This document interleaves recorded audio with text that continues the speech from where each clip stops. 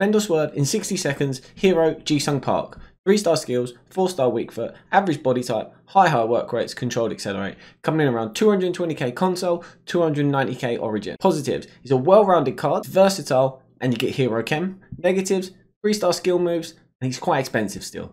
Chemistry style did I use? I used a shadow. What chemistry style would I recommend? A shadow. So, ratings out of 10. Pace, 9 out of 10. He's actually pretty quick, you know. Shooting, 8.5 out of 10. As you can see, I scored a lot of long range shots with him. Passing, 8.5 out of 10. Very good.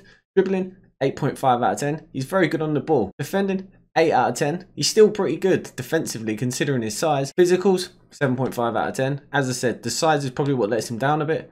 Value for coins, 8.5 out of 10. Now, overall, 8.5 out of 10.